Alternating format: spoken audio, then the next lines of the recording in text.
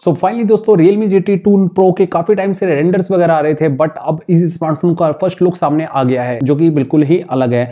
First look में ये smartphone आपको गूगल पिक्सल 6P की याद दिलाएगा। इसकी बॉडी से बाहर निकला हुआ ये कैमरा बम थोड़ा सा अलग बना रहे हैं इस स्मार्टफ़ोन को। वहीं टेबल पर ये स्मार्टफ़ोन आराम से टिकने वाला तो नहीं है बट इस स्मार्टफ़ोन का ये डिज़ाइन इसको काफ़ी ज़्यादा प्रीमियम भी बना रहा है। तो ओवरऑल रियलमी के इस अपकमिंग स्मार्टफ़ोन का डिज़ाइन आपको कैसा लगा है कमेंट करके ज़रूर से बताना। बाकी बात कर लेते हैं, इस स्मार्टफ़ोन में हमें क्या कुछ फीचर देखने को मिलेंगे। ना सबसे पहले बात कर लेते हैं इस स्मार्टफ़ोन के डिस्प्ले की। तो यहाँ पर 6.8 इंच का एक ओलेड डिस्प्ले देखने को मिलेगा जो कि 120 ट्वेंटी हर्ज रिफ्रेश रेट के साथ में आएगा।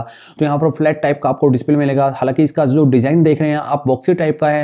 यानी कि जो मैंने आपको पहले भी की एक वीडियो में बताया था कि एप्पल एक बार जो डिज़ाइन लॉन्च कर देता है उसके बाद में सभी कंपनी उसको फॉलो करने लग जाती है। तो यहाँ पर हमें बॉक्सी टाइप का इस स्मार्टफ़ोन का डिज़ाइन देखने को मिलता है। फ्लैट टाइप का आपको डिस्प्ले मिलेगी। तो यहाँ पर डिस्प्ले और डिज़ाइन से कोई भी शिकायत नहीं आने वाली। डिस्प्ले आपको काफ़ी कमाल का इस स्मार्टफ़ोन का मिलेगा। नाउ बात करें अब इस स्मार्टफ़ोन के एक और सबसे मेन हाईलाइट फीचर की, वो है इसका प्रोसेसर जी हाँ दोस्तों, इस स्मार्टफ़ोन में स्नैपड्रैगन 8 जनरेशन 1 प्रोसेसर देखने को मिलेगा, जिसका 1 मिलियन से भी ज़्यादा का एंथो स्कोर निकल कर आ रहा है। ये प्रोसेसर 4 नैनोमीटर की टेक्नोलॉजी पर बेस्ड है और 3.0 पॉइंट पर क्लॉक है। तो परफॉर्मेंस वाइज भी ये स्मार्टफ़ोन काफ़ी कमाल का होने वाला है। फिर चाहे आप इस पर कोई भी गेम खेलो या फिर कोई भी काम करो तो परफॉर्मेंस वाइज आपको कोई भी इस स्मार्टफ़ोन में दिक्कत नहीं होने वाली। इसके अलावा इसके रैम और स्टोरेज वेरिएंट की बात करें तो यहाँ पर एलपीडी फाइव रैम मिलेगी और यू थ्री पॉइंट वन वाली स्टोरेज टाइप इसमें देखने को मिलेगी, जिसमें कि हमें मैक्सिमम 12 जीबी रैम और 256 जीबी स्टोरेज देखने को मिलेगी। तो ओवरऑल इस स्मार्टफ़ोन में हमें डिस्प्ले डिज़ाइन परफॉर्मेंस वगैरह भी काफ़ी अच्छी देखने को मिलेगी। इसके अलावा ये smartphone out of the box हमें एंड्रॉइड ट्वेल्व पर देखने को मिल सकता है। नाउ बात करें अब इस स्मार्टफ़ोन के कैमरा की तो इस स्मार्टफ़ोन के बैक में हमें हॉरिजॉन्टल टाइप में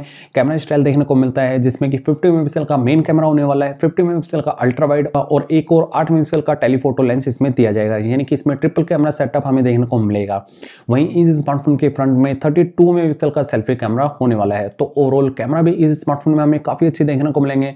बाकी देखते हैं कि कैमरा क्वालिटी कैसी निकल कर आती है। इसके अलावा बात करें इस स्मार्टफ़ोन की बैटरी की तो यहाँ पर इस स्मार्टफ़ोन में फाइव थाउज़ेंड की बैटरी मिलेगी। वहीं इस स्मार्टफ़ोन में एक और इंटरेस्टिंग बात है कि इसमें वन वोट की फास्ट चार्जिंग हमें देखने को मिल सकती है, जो कि काफ़ी ज़्यादा फास्ट है। इसके अलावा in display fingerprint scanner USB type C और शायद से 3.5 पॉइंट हेडफोन जैक हमें देखने को ना मिले।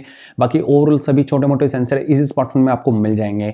ना बात करें अब इस स्मार्टफ़ोन के प्राइस की तो दोस्तों, इस स्मार्टफ़ोन का प्राइस वगैरह तो अभी तक लीक नहीं हुआ है बट एक्सपेक्टेड प्राइस इसका सिक्स डॉलर मान सकते हैं। यानी कि फोर्टी फोर्टी फाइव रुपीज़ के करीब में ये स्मार्टफ़ोन लॉन्च किया जा सकता है। वहीं ये स्मार्टफ़ोन अभी के लिए ग्लोबल मार्केट में लॉन्च होगा। बाकी इसकी कोई भी न्यूज़ आती है कि ये स्मार्टफ़ोन इंडिया में कब तक आएगा, इसकी प्राइस वगैरह कंफर्म प्राइस वगैरह लीक भी हो जाती है आजकल तो वो भी मैं आप लोगों के साथ में ज़रूर से शेयर कर दूँगा। तो ओवरऑल इस स्मार्टफ़ोन का लुक डिज़ाइन काफ़ी अच्छा है परफॉर्मेंस वाइज भी ये काफ़ी अच्छा होने वाला है।